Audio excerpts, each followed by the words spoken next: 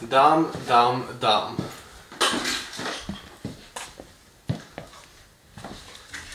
Det är som att det ligger döda råttor över hela golvet.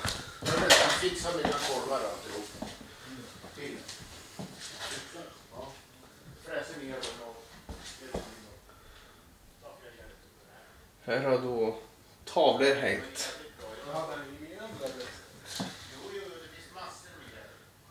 De som verkligen inte gillar att städa.